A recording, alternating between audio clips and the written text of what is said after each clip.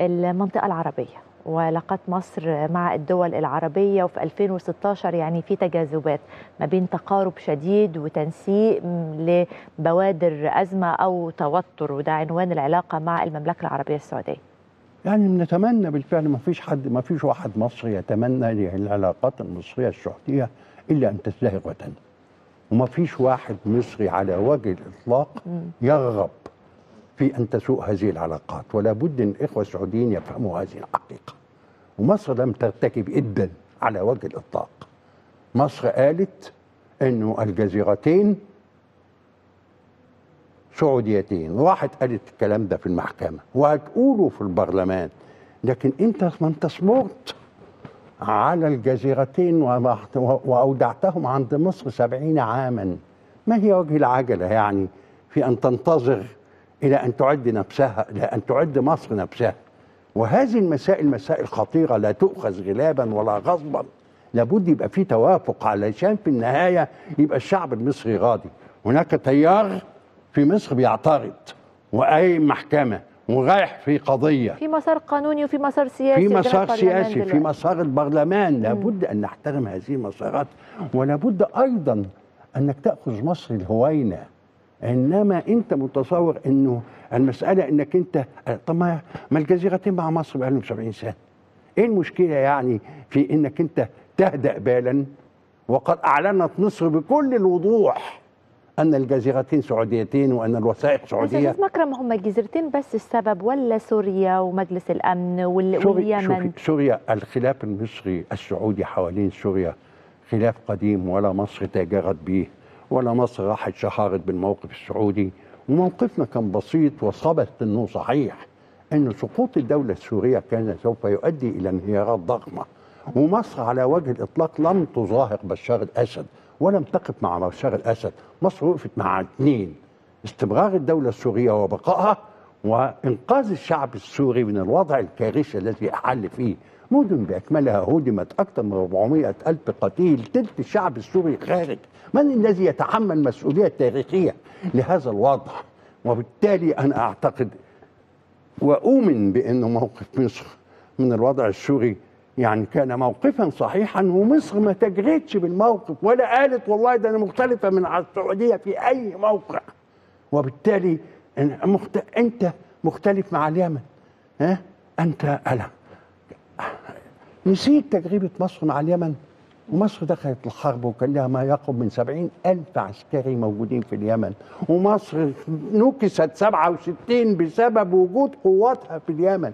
والمواجهة كانت مصرية سعودية.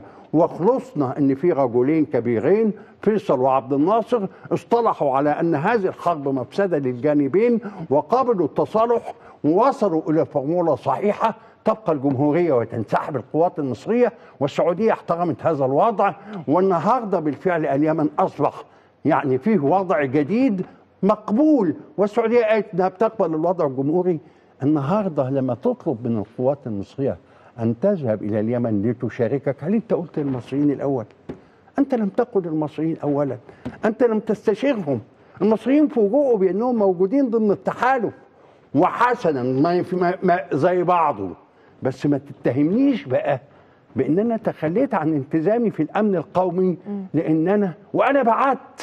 أنا بعت ثلاث قطع بحرية وبعت الأسطول والأسطول قام بمهمة مهمة شديدة جدا في باب المندب وقام بمهمة حراسة البحر الأحمر وبعت أعتقد أيضا كمان طائرات. لكن يعني أنا لم أتخلى مصر لم تتخلى على وجه الإطلاق عن السعودية. لكن في النهاية في رأي عام مصري. طب أستاذ مكرم لو جاز التعبير المكايده السياسية ما بين البلدين دلوقتي يعني اللي حصل والوفد اللي راح السعودي اللي راح زار سد النهضة آه وقف إمدادات البترول آه لما اتسال وزير خارجيتنا عن علاقتنا مع المملكة قال علاقة متميزة وقوية على عكس اللي إحنا شايفينه. فهنا كان محل انتقاد هل الدولة المصرية المفترض ترد بالشكل ده ولا يكون في رد آخر في تصعيد في موقف يتاخد؟ شايف ده إزاي؟ يعني الوضع إنه اولا أنا شايف إنه ها إنه إنه الدولة المصرية لا تزال حريصة جدا وأعتقد كل مواطن مصري لا يزال حريص على الحفاظ على العلاقات السعودية. وهو إيه المطلوب؟ المطلوب أن نجلس معا ونناقش هذه الموضوعات بصراحة وحرية ولنصل إلى توافق. ده كل كل ما تطلبه. أما أنت تعاقب مصر وتمنع عنها ها؟ وتمتنع عن تنفيذ اتفاقات وقعها الملك سليمان في مصر دون أي أسباب بشكل مفاجئ. طب ليه؟ طب ليه؟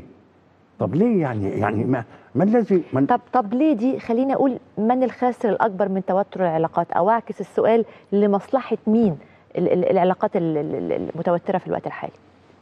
أعتقد إنه ليس في مصلحة السعودية وليس في مصلحة مصر وليس في مصلحة التضامن العربي وليس في مصلحة المستقبل العربي. لأنه طالما الإيقاع المصري والسعودي متوافق العالم العربي كله بيتوافق مع بعضه وبيبقى الخطو منتظم. نتأخر في الحتة دي أهلا وسهلا ها؟ ولكن على الأقل بنمشي بما يمكن أن نسميه ما يمكن أن يقبله الجميع. طب خليني